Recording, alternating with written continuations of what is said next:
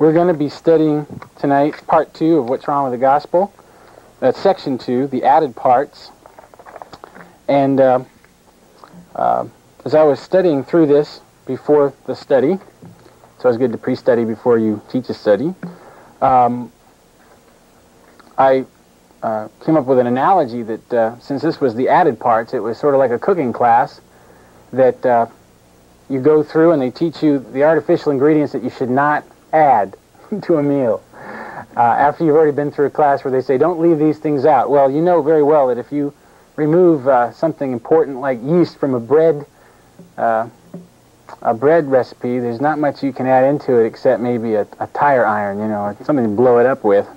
They bite into it and blows up in their face.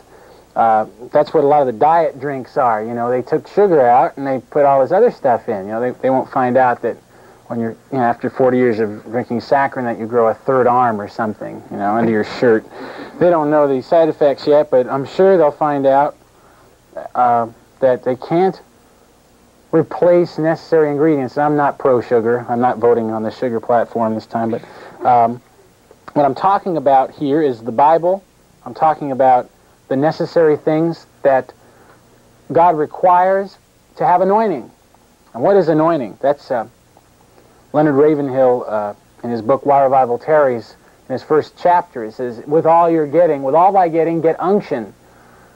And uh, unction is another synonym for anointing. John says, you, you have an unction from the Holy Ones, you know all things. You have an anointing from God. Uh, the actual literal meaning of anointing was that God was in it. When David was anointed, he literally had, you know, Wesson oil pouring out all over him. And probably not Wesson, but um, the, uh, the anointing meant that you were God's chosen, or that God was choosing to use you. And God will only choose to use what's true, since God is not a liar. It says the devil's a liar and the father of lies. And when you take even a little bit of truth out of a system, and uh, every theology is a system. There's there's totally false theology, like the cults have, and then there's kind of semi-true theology, like a lot of us have. And then there's the absolute cut and dry black and white truth theology that God has, and we're all trying to find out what that is, aren't we? And uh, God will only bless the true theology. And uh, a friend of mine said this. It says that when a half-truth is presented as the whole truth, it becomes an untruth. When any half-truth is presented as the whole truth, it becomes an untruth. And uh, you can present half-truths as, well, this might be true, and that's what the Pharisees used to do. That's what, that's what used to blow their minds about Jesus. He came out and started teaching with authority. Remember when he came out in the synagogue, when he first started preaching, and he said, the Spirit of the Lord is upon me. you know, he didn't say, uh, you know, like the boring scripture readers that were hanging out in those days, the Spirit of the Lord is upon me to heal the sick, and then uh, just reading it kind of like a parrot, you know, ah, you know. Um, Jesus came up and said, I'm sure the Spirit of the Lord is upon me. And people are going, what's he talking about, man? Isn't that, you know, isn't that uh, the sons from Joseph and Sons Carpentry Shop down the road? Well, the thing that really fried the Jews' brains in those days was the fact that Jesus taught with authority. And God only anoints with his authority and his anointing the truth.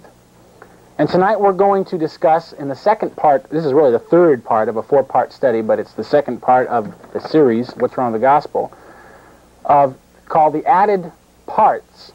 And uh, I kind of looked, we were thinking of artwork. We always, in our art department, try to decide what pictures would best describe the subject matter and the impact of what we're trying to say. One of the things that we were going to have for What's Wrong with the Gospel was the missing parts. We were going to have a picture of a guy going in for an operation, you know, and it was going to say, you know, the operating room for the gospel, and all these evil-looking doctors were going to go in there, and, and the guy the guy was going in, and he was all patched and bandaged up, and and he was going in the operating room. And in the second part, on the added parts, he was going to come out, you know, like with a fire hydrant coming out for an arm and a, you know, a turkey head for a head and, you know, a broomstick for a leg and the added parts. Of course, you know, the fire hydrant does have a round cylindrical kind of thing like an arm, but it isn't an arm. and a turkey head is a head, but it isn't a human head, and so on. That yes, they have found things that stick in the holes, that, that will match up somewhat in, in similarity somewhat. I mean, some of them are so idiotic and stupid that I don't understand how anybody can believe they're biblical, but they do. Now this, this uh, study is the study, the part two. The whole thing got us in trouble, but this part two got us in more trouble than anything we've ever published.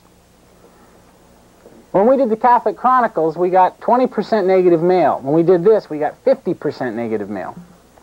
Now, I'm sure that there were some things Jesus taught on where he got 100% negative mail. That doesn't matter to us. We don't want to get positive mail, but we do want to get positive reviews from God. As a friend of mine says, you can change the whole world's opinion about me. You can spread slander about me. You can say that my wife's a prostitute. You can say that I'm a liar, that I'm, I'm a, a, thief and a robber. You might even get the headlines. You know, Keith Green is an idiot. He's, he's, he's, uh, uh, he's ripping people off or whatever. But you can't change God's opinion about me. Because the only person that can change God's opinion about me is me. Now, that doesn't mean that I'm supposed to walk through life going, well, man, I'm just going to please God and I don't care who I, who I hurt. That's not true either, because Paul says, if it possible, be at peace with all men. If it possible, if possible, here's the two F's. If possible, comma, so far as it depends on you, comma, be at peace with all men. That means while you're preaching the truth, while you're correcting error, if you can at the same time be nice, if you can at the same time not offend in any way other than the truth doing its own offending, because the truth will always offend those that don't love the truth, then don't do it. If possible, so far as it depends on you. Well, there are some things that I wrote in here, I went over it tonight, that I might have rephrased a little differently, but not very many. I am not sorry I wrote this. I'm not sorry we published it. Sure, I'm sorry that we got 50% negative mail. But I'm not sorry enough to say that this wasn't of the Lord for us to write. I don't like to see anybody not agree with us. Nobody doesn't like that. I'm, Jesus didn't like it. It made him sad when the people wouldn't turn around and go, You're right, Jesus. Now, we don't want to be right because we want to be right. We want to be close to God, and because we're close to God, we would like people to recognize that the truth is the truth. Doesn't matter if I say it or you say it or your or the, or the Baptist pastor or the Methodist preacher down the street says it, it doesn't matter as long as the truth is going forth into the world. So, I believe that, that many of these additions to the modern gospel are very clever, very clever. And they have to be, because they have the outward manifestation of doing some good, outwardly. But God only promises to anoint His Word, not human cleverness. He doesn't promise to anoint human smartness. And uh,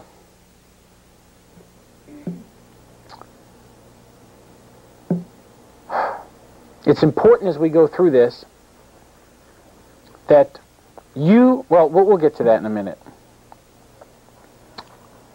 The main thing that we got in trouble for was that we destroyed many sacred cows.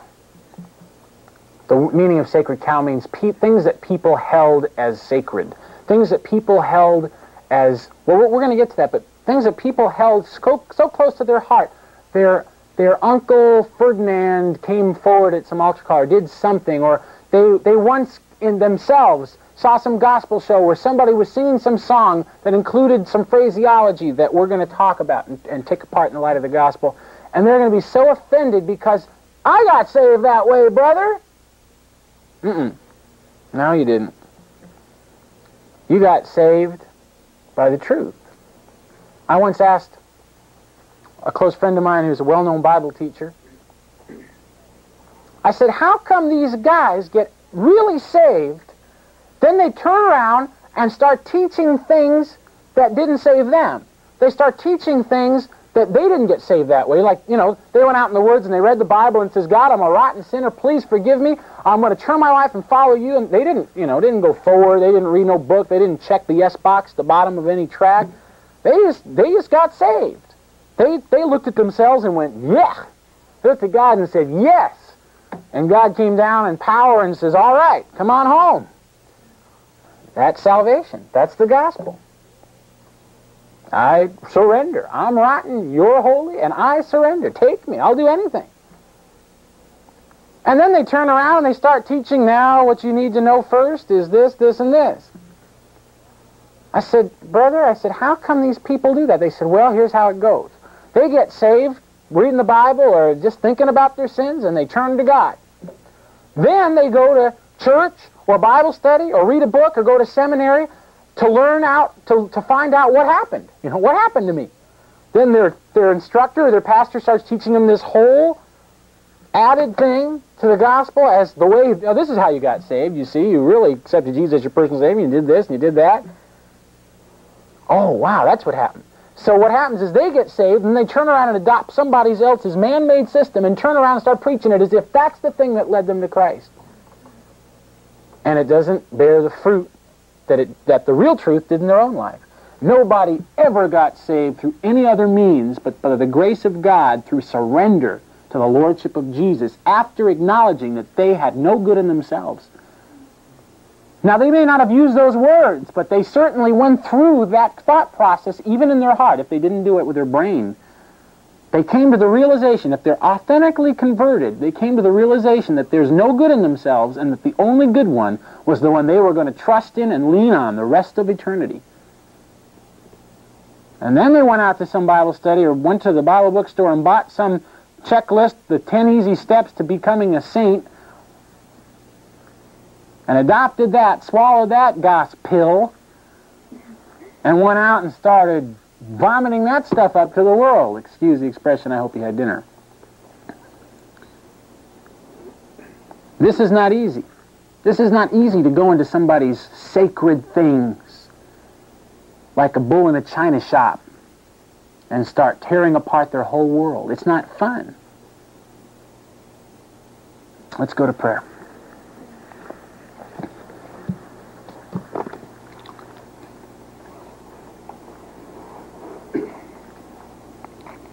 God, we humbly come before you tonight and we realize that there is no good thing in us but you. We weren't born into this world with holiness in our hearts. Maybe innocence, but not holiness.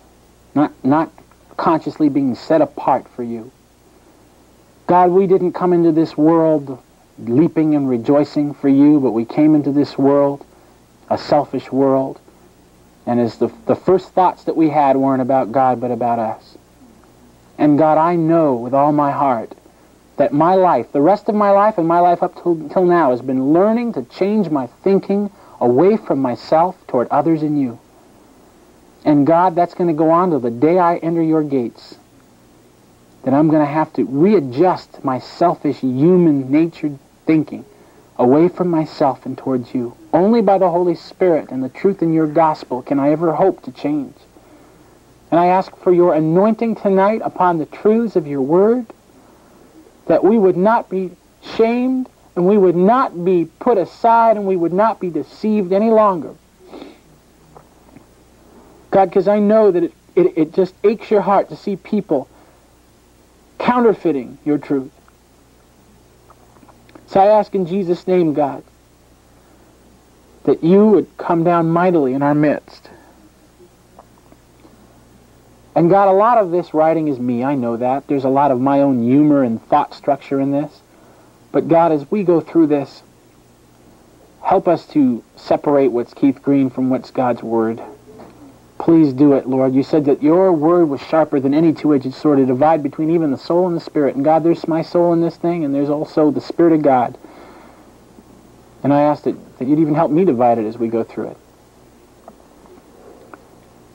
For God, we want to, in these crusades, God, we want to see people honestly planted and then left alone to grow.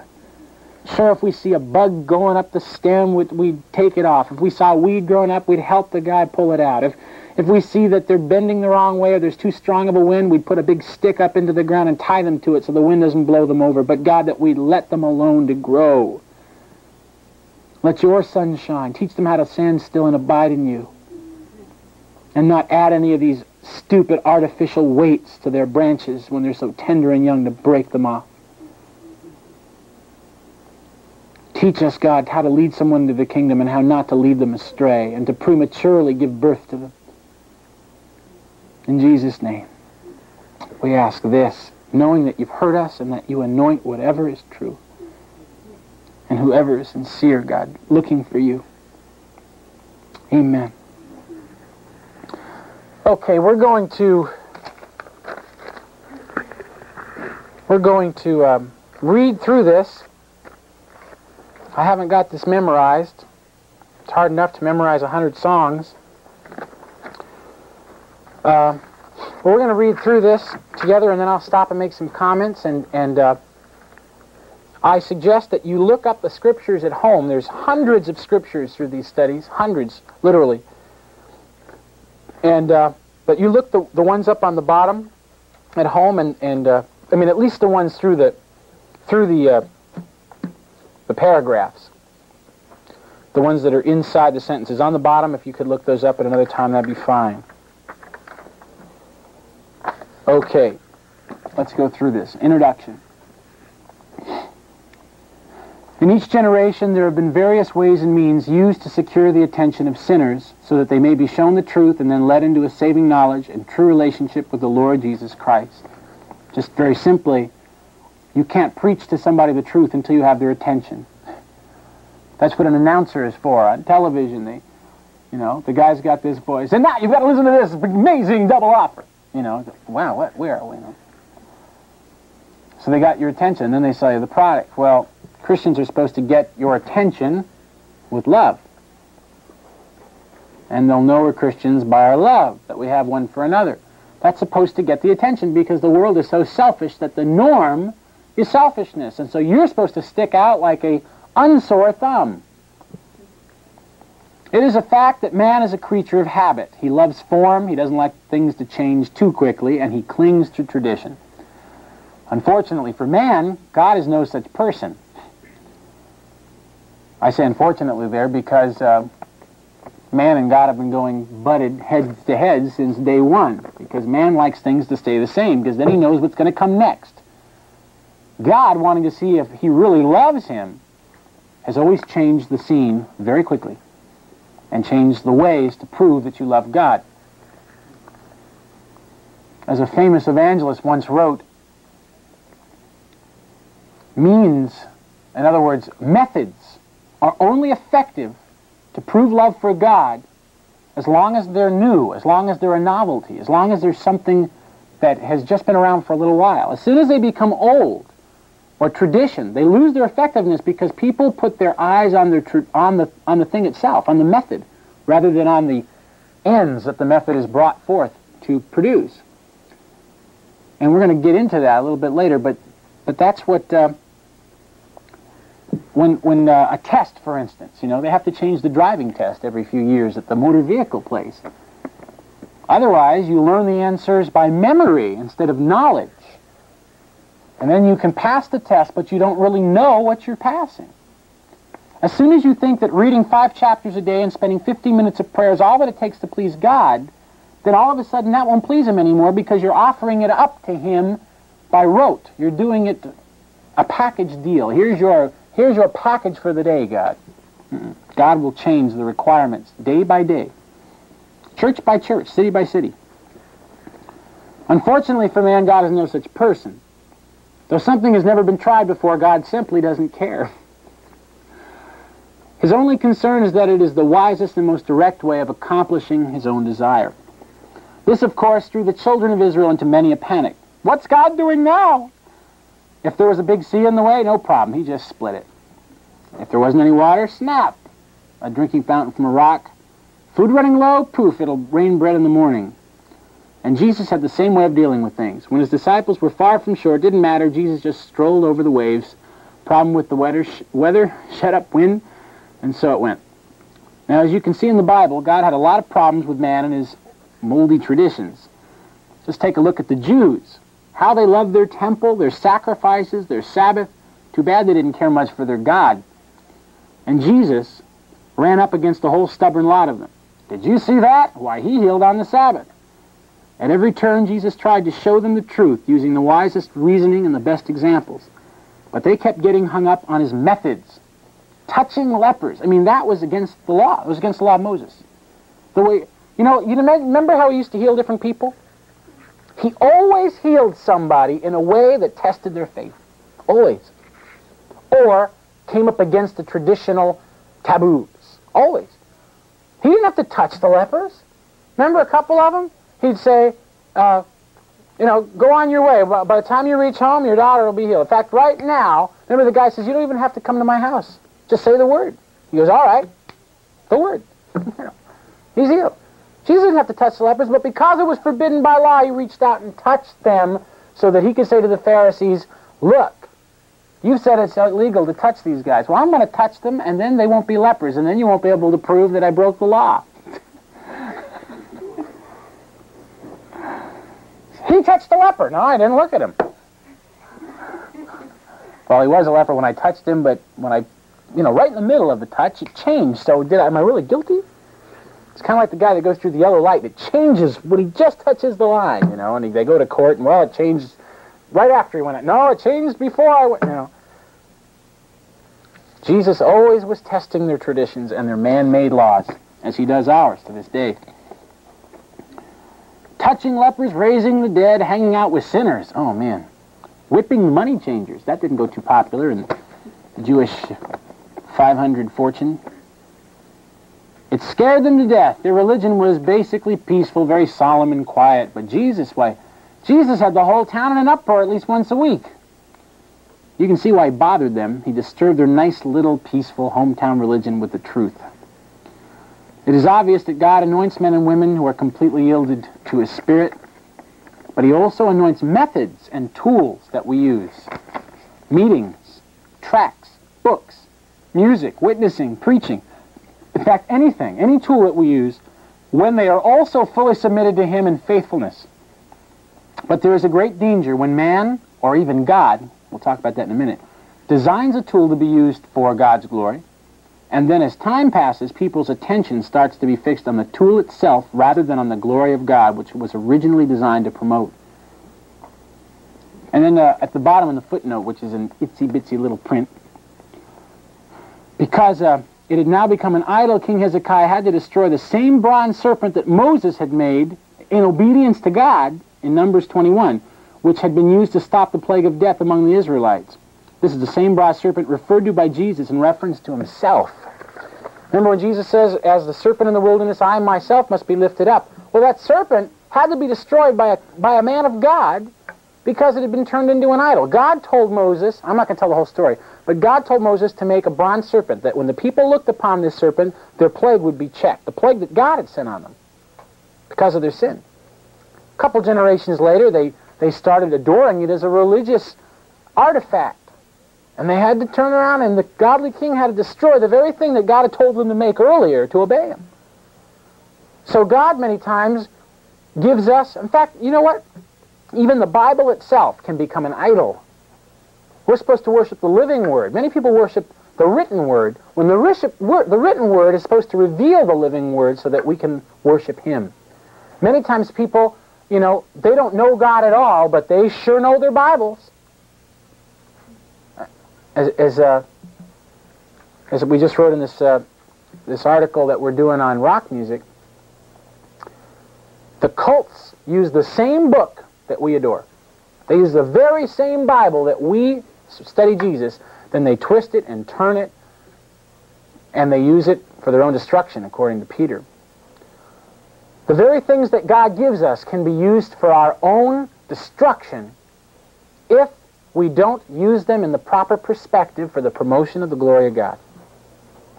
Now, if the things that God, give, that God gives us can be misused and abused, how much more can the things that we invent in, in, in submission to God, can they be abused? Okay. The following is a list of just some of the tools, just some, by the way, this is not a complete list, of some of the tools, methods, and concepts that I believe have become so much a part of presenting the modern gospel that they have become just about inseparable from it. I mean that one and the same to people. These tools have become so much a part of the gospel, well, it says here, in fact, they are to such an extent considered necessary that if many of them are left out of an evangelistic meeting, Christians can hardly believe that anyone could even be saved there. And I mean it. I mean it.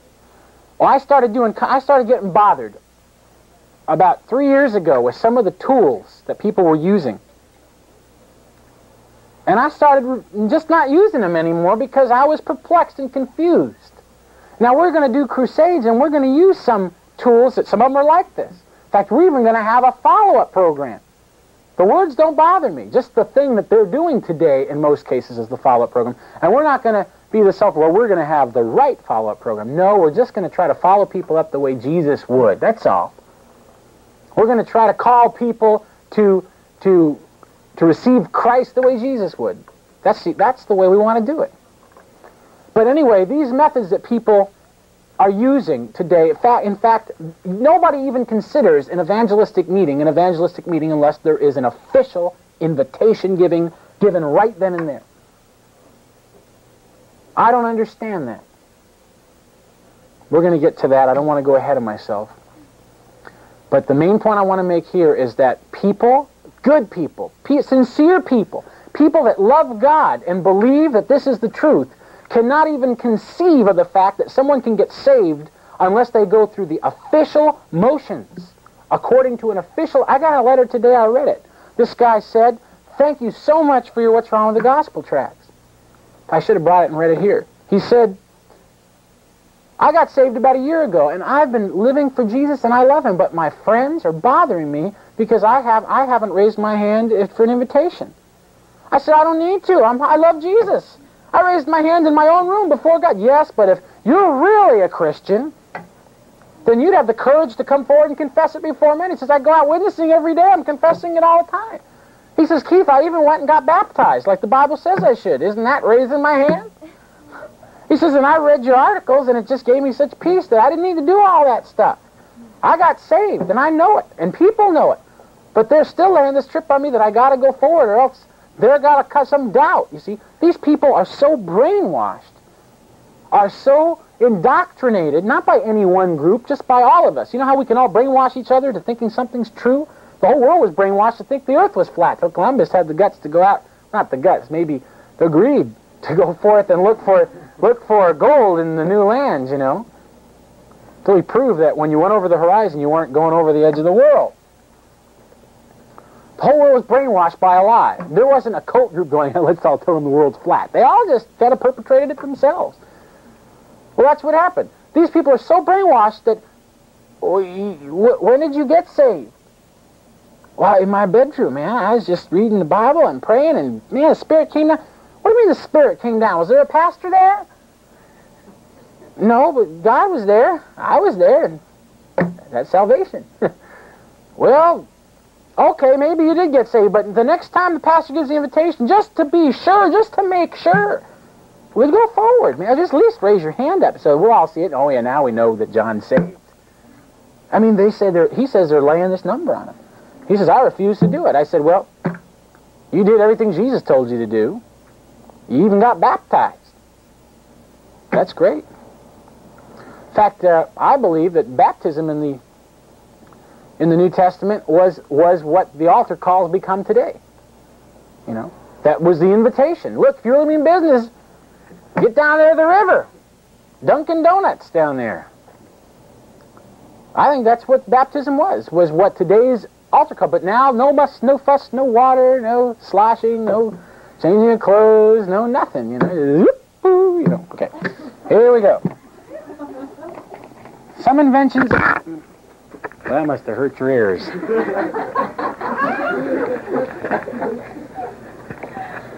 Mission control. They don't make these clips like they used to. How'd that sound? Guys back there, his eyes are like two sunny side up eggs. Okay. Some inventions of man that have become essential parts of the modern gospel. Okay, now these, boy, I gotten some nasty letters on this stuff. The term and concept of personal savior. Let's read it through and I'll stop and go back over it. I find it very disturbing when something unnecessary is added to the gospel. But the use of the term personal savior isn't very harmful in itself, but it shows a kind of mindset that is willing to invent terms and then allow these terms to be preached as if they were actually found in the Bible. But why must we do this? Why must we add needless, almost meaningless things to the gospel? It's because we've taken so much out of it that we have to replace it with spiritual double talk.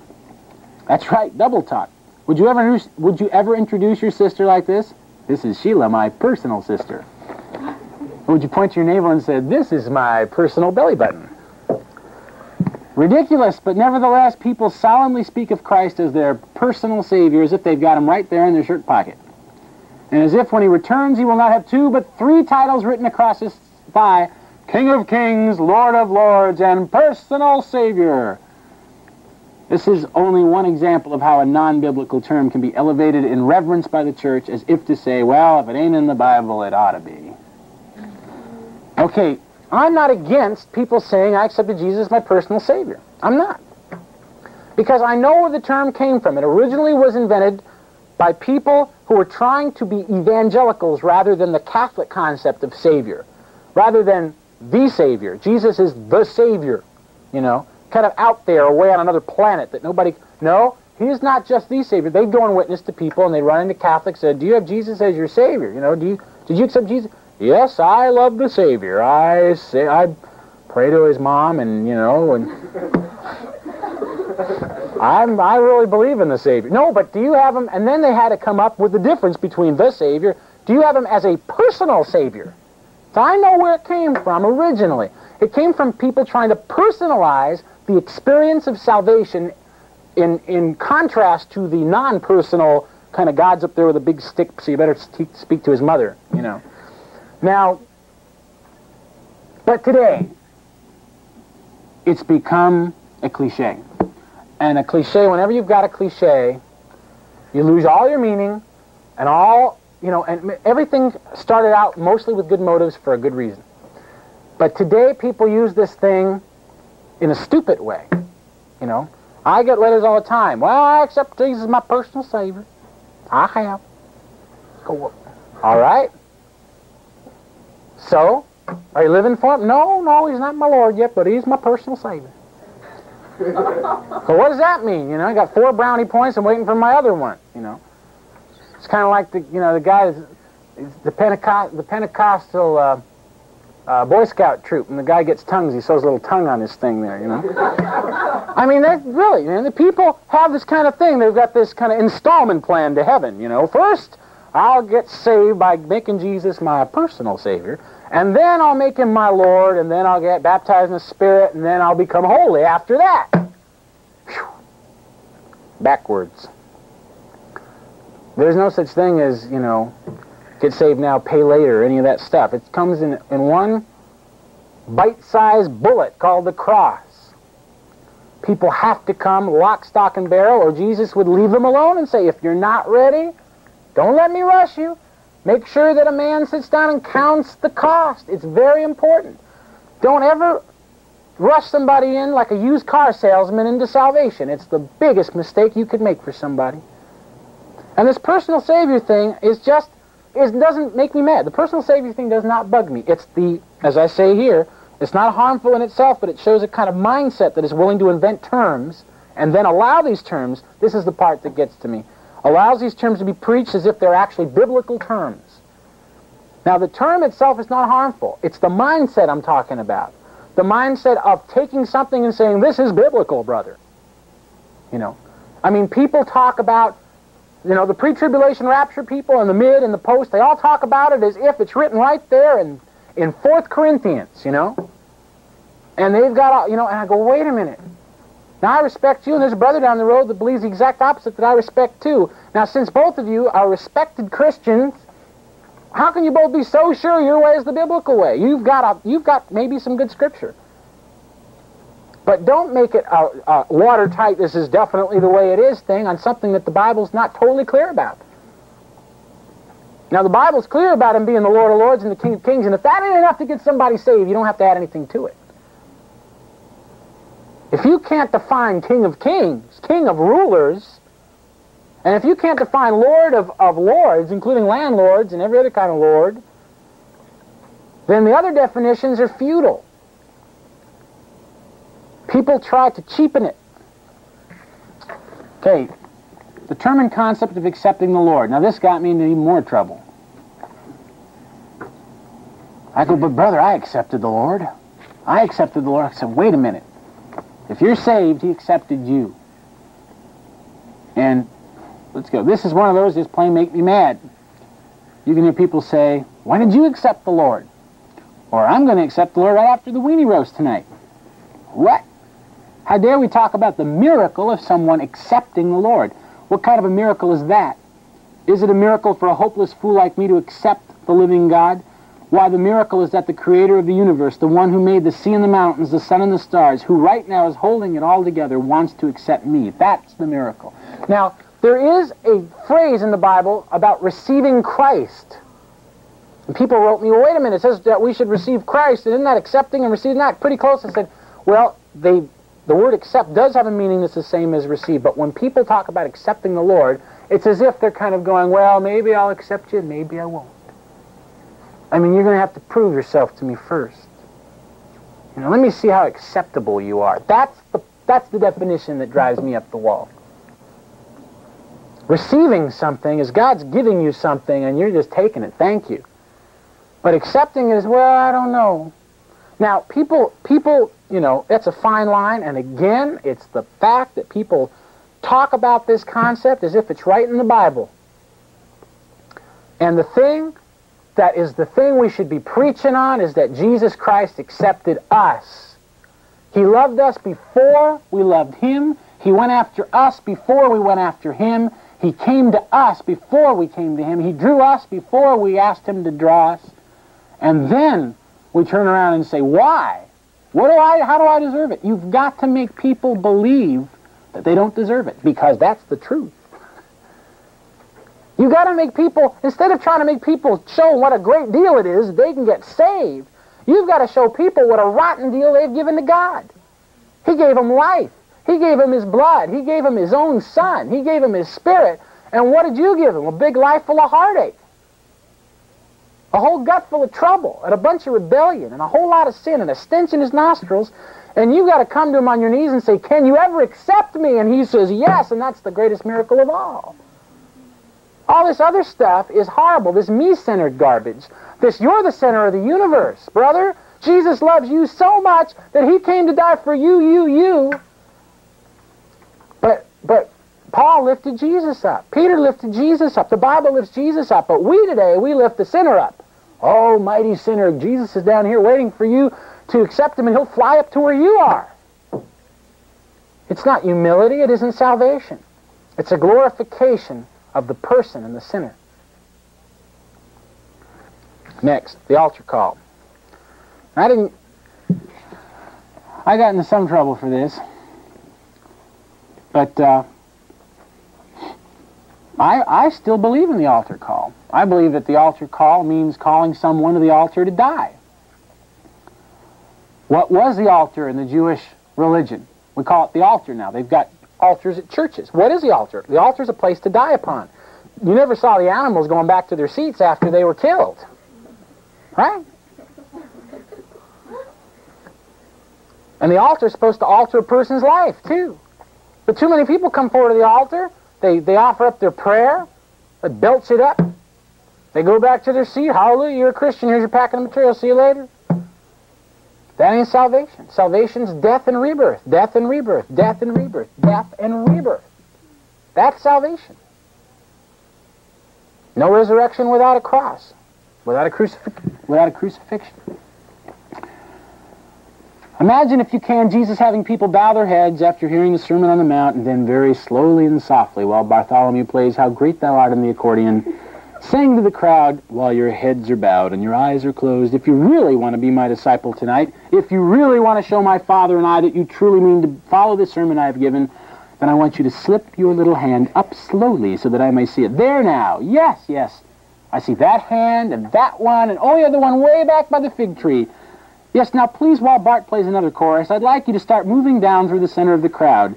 Yes, those who raise their hands, I want to know if you really mean business, and I'd like to lead you in a prayer. Okay. Uh, I realize that there are some who see such an illustration as sacrilegious. But that's just the point.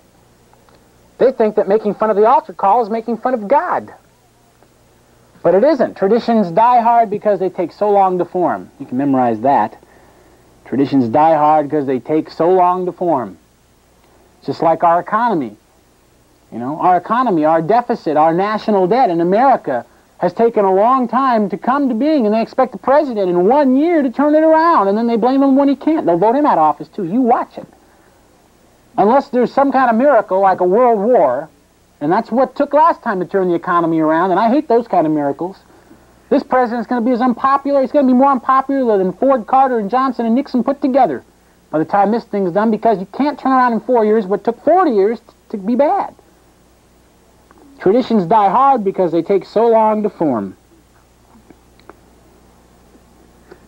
Recently I received a very intense, I mean angry, letter from the pastor of a church who had sponsored me in a citywide concert in his area. He was upset that I had let several hundreds go ungathered, that was his words, because I had not given an altar call at my concert.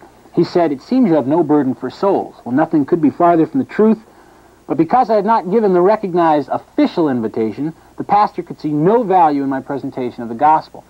And Tony Salerno said at one of our meetings in the area, if you don't give an altar call, I think you've committed the unpardonable sin. I mean, that's how religiously important this thing is. Okay, and then I got this part here on the history of the altar call. Believe it or not, the altar call was invented only 150 years ago. Before that date, there is not a recorded using of an invitation system. Now, like I said before, baptism was sort of an altar call, but there wasn't ever this coming forward and separating out the seekers from the non-seeker kind of thing that we've got today. It was first used by the American evangelist Charles Finney, that's one of our heroes here, old Chuck, as a means of separating out those who wanted to talk further about the subject of their salvation. Finney called the front pew the anxious seat, well, when I first read those words, the anxious seat, I was going, you know, maybe people are sitting there going, you know, I mean, the anxious seat.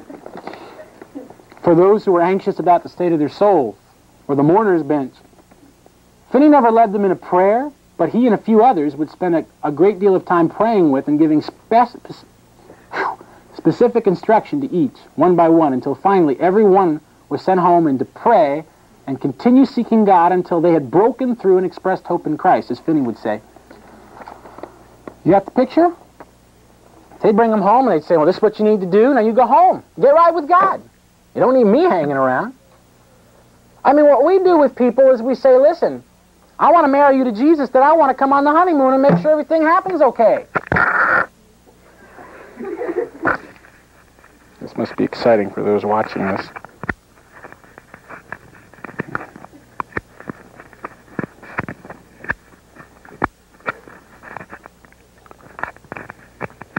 There a trick to this? Okay. You know what I mean? It's like you, are saying, okay, here's the bridegroom Jesus, and here's the bride. Okay. Do you accept you? Yes. Do you accept? Oh, great. Okay. All right. Now we're going to go in the back room, and they're going to have the honeymoon. Come on, I'll go with you. Make sure you know. Make sure you have the right, the right motives and, and all the right scripture and all the right stuff and everything. But we need to be able to send people home and trust that in the intimacy of their prayer closet, they're going to give their whole hearts to God. Who can really? Look, I've been a Christian for seven years, and I still have trouble opening up and being intimate with other people. And I've had a lot of my embarrassments cleaned by Christ. I've had a lot of my things taken care of and washed in the blood. But a brand new person who has never trusted anybody in their whole life is going to open up to you when they haven't even ever even opened up to God? Leave them alone. Leave them alone, for God's sake. If you're going to counsel somebody, just give them what they need and leave them alone. As I said a couple studies ago, the guy that, that, that plants a garden and digs up the seeds every day to make sure they're growing is going to kill them. You know? You know, how are you growing? Oh, right. That wasn't funny. Can you hit the pause button for a sec?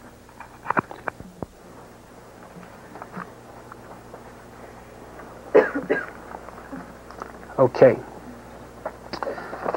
So the guy plants the garden, digs up his seeds, and kills them.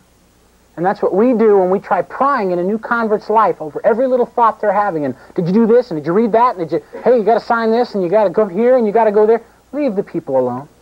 Show them you care. Make yourself available. But anything more than that, you're going to do damage. Have you ever courted a husband or a wife? Are any of you married that are, that are going to be counselors? How much of a chance would your husband have had if he would have bugged you all the time?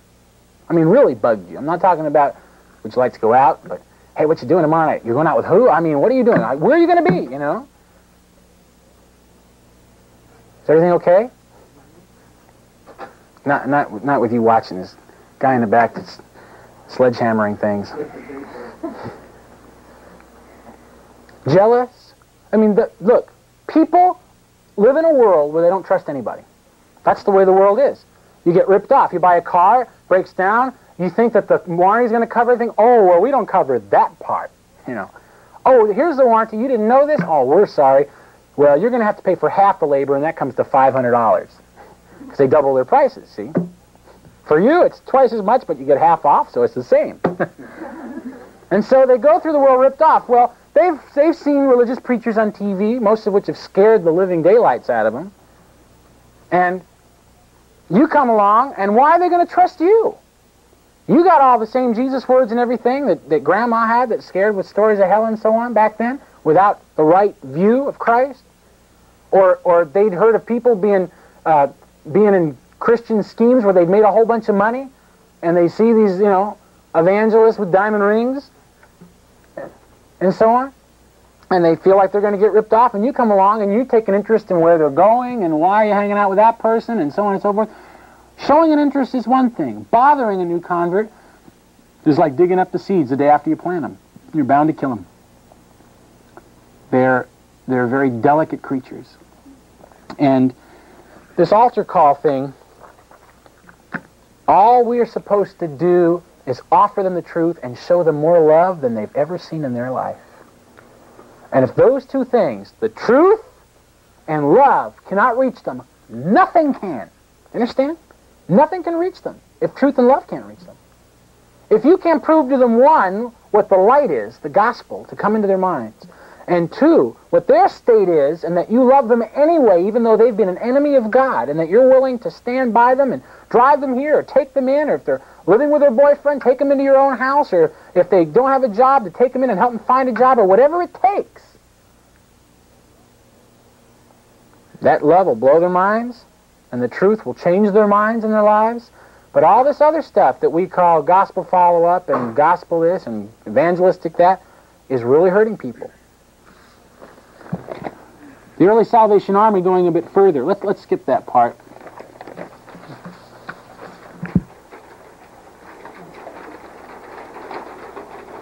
Not because they're not, it's just another example of the same thing. Well, let's not skip the part. I'll, just read the, you don't have to turn your page again, it sounds like the end of the world. Uh, the early Salvation Army going a bit further and Finney's innovation developed what they called the penitent form, that penitent being repentant, or the mercy seat. After a rousing time of singing and preaching, they would invite any sinner present who wanted to confess his sins to repent, confe confess his sins to God and repent, to come to the front and they would be prayed for individually and individually. I have met a few older Christians who used to attend some of these early meetings and others like them in the 20s and 30s and they said that sometimes people would stay there all night and on a few occasions even a few days weeping and confessing their sins with broken hearts. You know that Billy Graham's father, for three days, there was a revival meeting, and he went to the altar and he stayed there for three days and didn't move? Now, that doesn't mean that, oh, you know, somebody watching this, now I know what I got to tell people to do. They got to stay somewhere for three days and they'll get saved. But that was one of those early sawdust evangelists that preached to people and left them alone. Let them get their hearts right. You know, the guy pops the question, says, will you marry me? She goes, let me have some time to think and pray about it. Well, what do you think she'd do if he called up every hour and says, well, what do you think? The no is going to come pretty quickly. weeping and confessing their sins with broken hearts for a few days. There were always some who would stay right there to instruct them further if they needed it and asked for it, encouraging them to make a clean sweep of sin from their lives. This is what the early altar call was like. A little bit different than today, isn't it? In fact, the early altar call wasn't an altar call at all. It was just giving people an opportunity to unburden their hearts without letting them going home like a cold, well, that's the end of the meeting, good night. It was, well, that's the end of the meeting. If anybody would like to stay to talk and pray, we're, we're going to have some people here that'll be glad to share their, if you want to share your heart with somebody, they'll be here. If not, they'll just be here to keep the place open so you can pray before God. Come on forward. Have a seat. Everybody else can go home. Turn the lights down. Now let's get down and what you guys need to do is you need to pray. You guys need to not just, oh, now lay me down to sleep, pray. You need to unburden your heart to God. Now we're just going to go in the back and pray for you, and you just stay here. And it was powerful because they let the Spirit do it.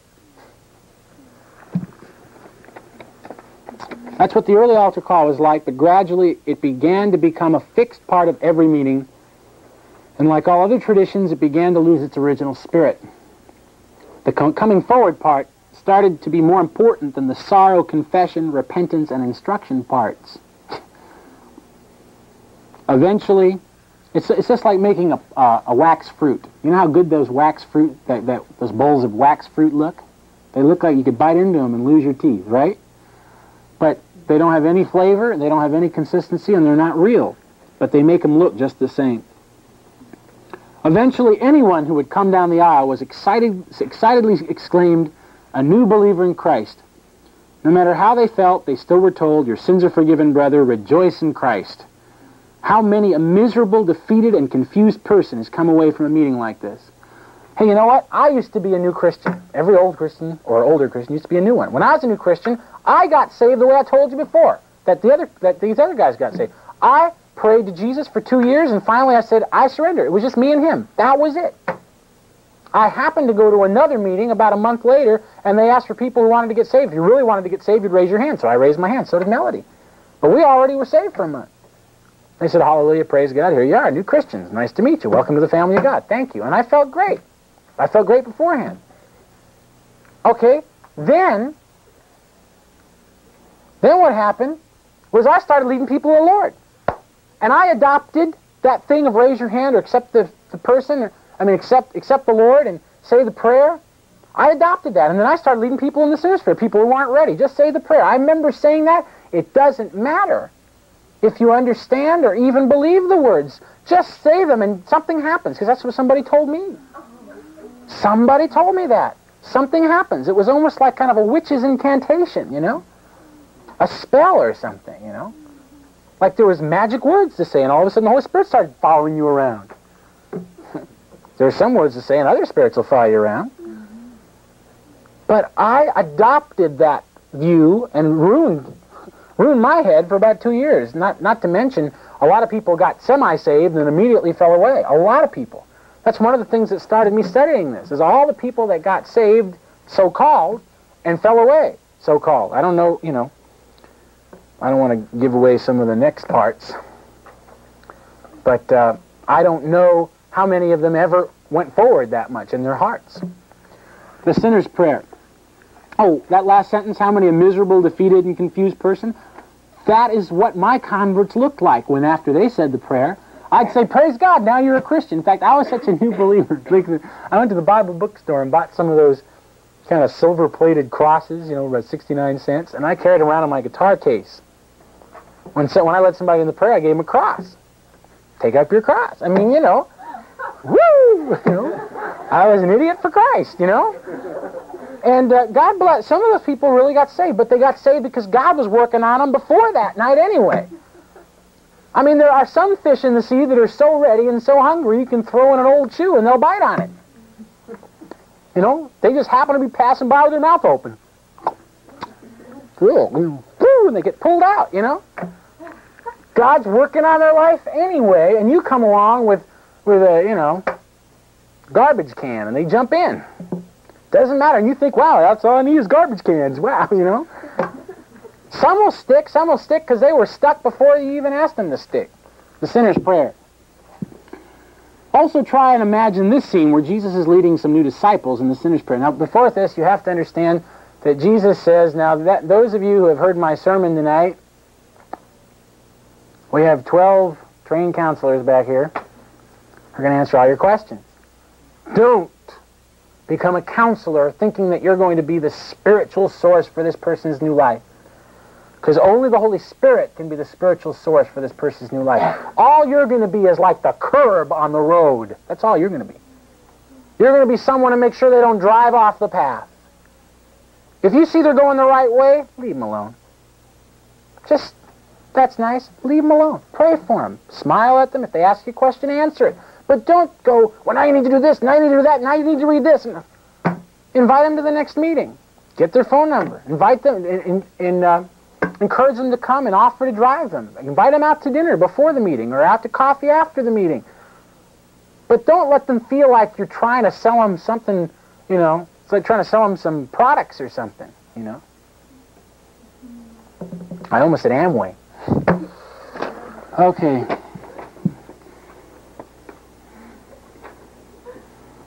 Don't let them feel like there's anything in it for you except the part of you that wants to see that Jesus gets what he deserves.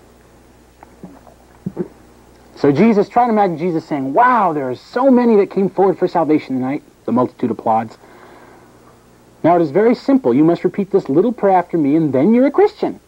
Now it doesn't really matter whether you fully understand the prayer. It, it works just the same. Now ready? Repeat after me. Dear Jesus, come into my heart, and so on. As you can see, when we try to imagine Jesus himself using our modern methods of evangelism, it seems completely foolish. I think that that's a very good test for any method. Could I see Jesus doing this? Or could I see, hear Jesus preaching or teaching that? Since the Bible tells us, walk in the manner that he walked, we should always try and compare our actions in preaching to the Masters. Amen. It is obvious that there is no set sinner's prayer, I'm talking about the ones that people are using. There are many variations with different lengths and different wordings, different endings, etc., but the contents are usually the same. The prayer usually includes phrases like, Dear Jesus, and Come into my heart, I admit I've sinned. At least the better ones contain this last statement. There are, there are some who do not even mention sin in their sinner's prayer, and I mean that. I mean, I've heard sinners' prayers that say, Jesus, I'm tired of living for myself. Or, Jesus, I want to be happy. Please make me happy. Come into my heart in Jesus' name. I mean, I've, I've heard people lead people in prayers like that. But it doesn't matter what you lead them in, and you can say, you know, um, banana Patty Hearst or whatever, you know. And, and no words are going to make any difference to anybody unless their heart is saying them from its own desire. So that's the futility of the thing. Now, there, every now and then, like I said, you're going to get a fish on the line that their heart's ready to burst, and you happen to just unzip the zipper, and out comes a torrent. And you can give them the words, and they'll say it, and they'll mean it. And you could have just said, go home, and they would have didn't have the same results. Or you could have said, you know, stare at that wall, and they would have started bawling.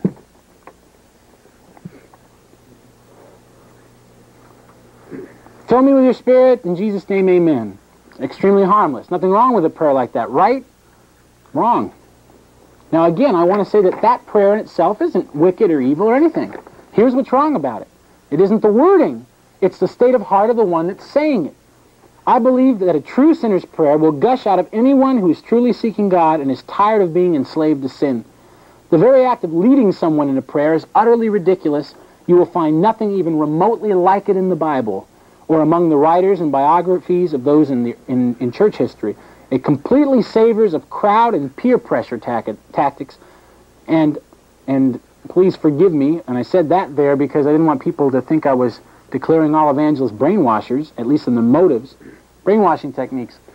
I don't believe no one, I don't believe anyone wants to, uh, you know, brainwash people, but I think that many of these tactics are psychological inventions to take the place of the real thing that produce outward results similar. I do not believe that Jesus wants to have his disciples, quote, repeat after me. I believe he wants them to follow after him. That's important. You know, uh, when I was first on the, on the circuit and traveling around, I found out very easily and very early how to get people to come forward. I, I seem to have a kind of a charismatic, excuse the expression, personality. I could bring people forward. I found I could wrench them out of their seats. In fact, near the middle of my ministry, I found I could get half the audience at least. In fact, if I couldn't get half the audience to come forward at any one concert, it was a bad night for me. I'm talking about 50% of the people that came. Any night. Sometimes the Lord anointed, and other times it was me. Sometimes it was a mixture. But you see, that's why I quit giving altar calls, because I wanted to make sure that when people got saved, it wasn't Keith Green. That it wasn't the songs or the music or the emotions of the night. That's why in these concerts we're having meetings the next morning to discuss salvation. When the when the spotlight's off and the sound is lower and there isn't the, there isn't the, the, the excitement of the crowd and the music, so that the next morning when people have had a night to sleep on it and pray about it, maybe cry through the night, maybe some of them will come and they won't even have slept that they'll be able to level-headedly, after the emotional high and the adrenaline rush has died down, can come to a meeting and say, you know what, what you said last night made a lot of sense. I've thought about it. I've read what you've given me. I want to give my life to God, and I want to tell you, I realize how miserable I am and why I'm miserable, because I'm serving myself and not God. That's why we're doing it the way we're doing it. And uh, maybe it's overcompensation, but until I'm convinced that that when people come forward at an altar call at one of my concerts or anybody else's, that they're coming forward to meet Jesus because they're convinced that their lives are messed up and that he's the only way out to get their lives straightened out. Until I'm convinced that, then I won't have, I'm not against altar calls, or, or in that matter, a time of prayer together. I'm just against things that prematurely bring people to birth before they're ready. And that's where we're at. Premature birth. As with the altar call, the practice of having someone repeat a prayer with a minister probably originated from the best of intentions. And no doubt there are those who have followed through, continuing to pray and walk with God, entering into the path of righteousness through God's infinite grace. But also, just like the altar call, the so-called sinner's prayer is one of those tools that make it alarmingly easy for someone to consider himself a Christian when he has absolutely no understanding what counting the cost means. The greatest reason I believe that God can be grieved with the current use of such tools as altar call and sinner's prayer is because they can take away the conviction of the Holy Spirit prematurely. Whew. Do you know how heavy that is? Before it has the time to work repentance leading to salvation. With an emotional splash that usually doesn't last more than a few weeks, we believe we're leading people into the kingdom when we're really leading many to hell by interfering with what the Spirit of God is trying to do in a person's life. Do you hear what I'm saying? Do you understand that this constitutes spiritual abortion? And I believe it's even more wrong for this kind of abortion than physical abortion. Even more wrong. Physical abortion isn't sending somebody to hell. This is. This can be. Physical abortion, I think, is a wicked thing, and where our ministry stands firmly against it. But it isn't as wicked as this. This is worse. Telling somebody they're saved before they are is worse than taking somebody to the hospital and aborting their baby. The reason for that is because when you tell somebody they're saved and they're not, then they believe they have an authentic. You know what it's just like? It's like giving somebody a $1,000 check, and you tell them, they, they go, all I need is a $1,000 to take care of all my bills, and I, and I won't be bankrupt. And they say, brother, here it is, $1,000 put it in their pocket. It's Friday night, the banks aren't open till Monday, and the whole weekend they go through and they call up all their creditors and say, I've got the money, I'll pay you, no problem. They get to the bank Monday morning and they find out when it's time to cash in the chips that that check was phony or you didn't have the money to cover it, and it bounces. And the whole weekend they walk around thinking, my problems are solved, my money's in the bank, it's right there. And it's not, the whole time it wasn't worth anything. See, a bad check or a counterfeit $100 bill or whatever you want to use as an analogy is never good. But when the people think it's good, until the judgment day comes, until the day of reckoning or cashing it in or whatever you want to call it comes, when they find out, oh my God, it's never been real. All that joy I had was false. All that security I had in this thing was phony. And most of these people find out it's phony very shortly. It doesn't take till judgment day. Most of them find out within a couple weeks when they when they try to fly and their wings fall off, when they try to walk on the water and they drown spiritually, when they try to pray and their prayers hit the ceiling because they never had any contact with God really in the first place, and we do such incredible damage. It's the, it's the meanest thing that anyone can do to tell somebody they're authentically a Christian before they are. There isn't any more wicked thing that a person can do, I believe, in the whole world. I don't believe an axe murderer who murders people with an axe is any more wicked than the results of somebody leading people to a premature birth in the spirit. Now, that's some heavy words. Now, I don't think there's anybody that means to do that. And that's the difference between him and the axe murderer.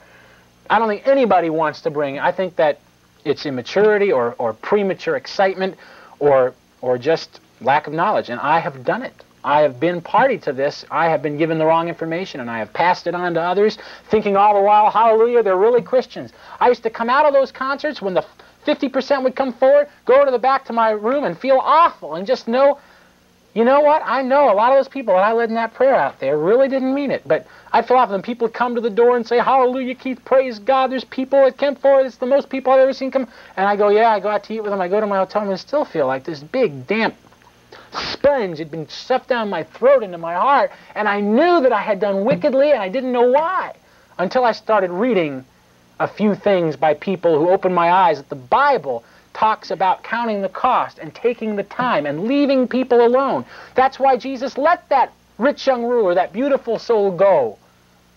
He let him go because he knew that to make any exceptions to the holy rule of if you're going to come, you got to walk in under your own power, knowing fully what you're getting into. If he made any exception to that, the guy would be lost, most likely for eternity, and think he was found which is even worse. It's one thing for a person to be lost. It's another thing for a person to be lost. That's what the cults are.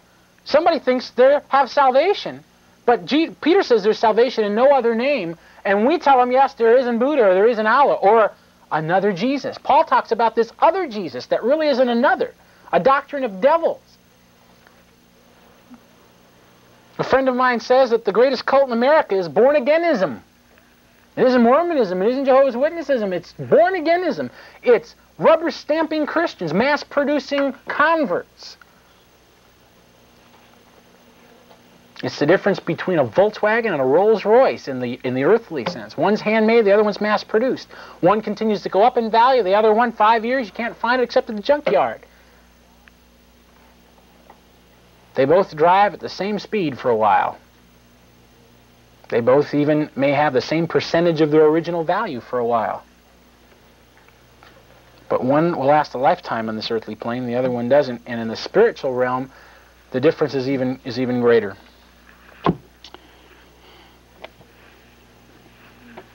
We are so afraid that we'll see the big one that got away that we'd rather rush someone into a shallow decision and get the personal gratification of seeing him go down the aisle then take the time to fully explain things to him, even if it takes long hours and nights of travailing prayer for his soul.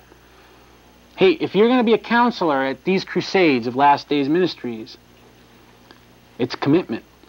It's praying for these converts. It's explaining things to them carefully, carefully, without disrupting the, the, the growth of that seed. It's watering, maybe checking around it, but not pulling it up and strangling it with your eagerness. And it means dedication, long hours, days, months, years to become these people's friends. What is Christianity but friendship? God's friendship for us, our friendship for God, and our friendship for each other. For a man can give no greater gift to his friend than he lay down his life. You know, people love to quote John 3.16. For, for God so loved the world that he gave his only begotten Son. But what about 1 John 3.16? That we lay down our lives. He laid down our lives for us, it says, I'm paraphrasing, and we should also lay down our lives for the brethren. It's amazing that that came out when they laid out the scriptures. It came out as 1 John 3.16. You can memorize John 3.16. It's a beautiful scripture, but don't forget about the other one, that God gave us his Son, and it says in 1 John 3.16 that we're to give ourselves to each other as in following the example of Jesus giving his life for us. Lay down our lives for the brethren, it says in 1 John 3.16. nights of travailing prayer for his soul. We just don't have the time to do things God's way anymore. But God would rather see one true convert than an ocean full of decisions. Oh, can't you see what a mess we're in? What we've done to the gospel. And when those converts no longer want to fellowship with us, when they want to go back to their old friends and their old way of life, we have the nerve to call it backsliding. When we stood in the very way of them ever front sliding in the first place, toward the cross. Oh, and it breaks my heart to think of that awesome day when God will judge those who have stumbled one of these little ones. Now, if you, like me, have been party to this and stumbled one of these little ones, don't think you're going to go to hell. It's time for you to change your ways, as I am trying to do mine. Try to go back to any of those people you might have misled the wrong way and, and see if you can lead them the right way. Sometimes when you have misplanted a plant and it's too late to go back and replant it, sometimes you can do something to save some of the fruit that might have come from it. Or some severe pruning, or some severe watering, or some severe, maybe even a transplant in some cases, fertilizing. But I'll tell you this unless we realize that we're blowing it if we prematurely lead somebody to Christ before they're ready, unless we take responsibility for bringing about these spiritual abortions, then we'll never change, nor can God forgive us unless we admit where we've blown it. That's, that's, a, that's just the basic truth. We went through that the other night. God cannot forgive a person unless they feel sorrowful and are willing to repent and turn from that to a different way of life. He can't even change their life because it requires us, Him working in us and us working in Him, to have a changed life. Okay, so we'll see you the next installment. Good night.